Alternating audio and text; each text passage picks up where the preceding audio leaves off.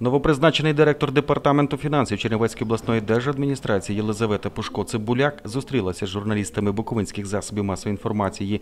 Директор розповіла про доходи і видатки обласного бюджету та використання коштів державного бюджету.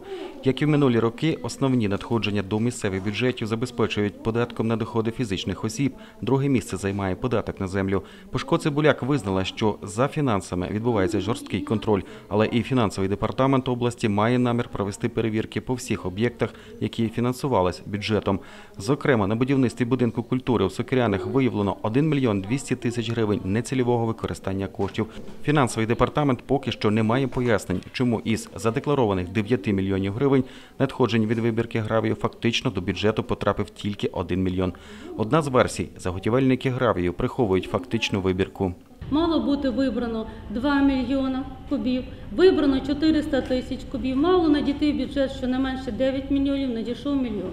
Сьогодні це питання одне з роботи комісії мобілізаційної, доручено екології, інспекції екологічній, БУВРу, і буде проінформовано правоохоронні органи. Це має бути дослідження.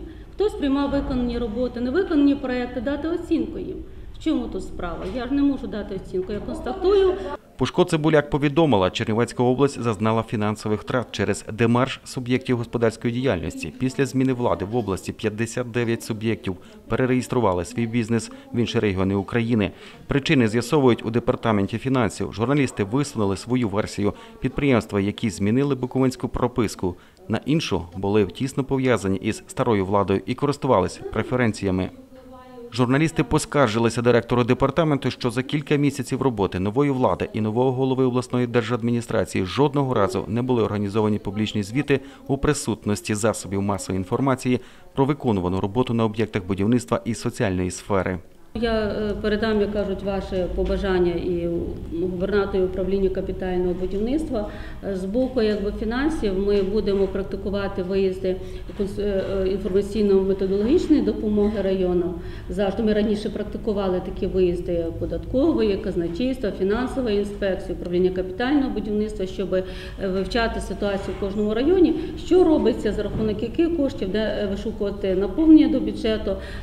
Можемо прийняти вашу пропозицію. За інформацією директора фінансового департаменту, за два останні роки колишня влада збільшила штат державних чиновників на 600 працівників.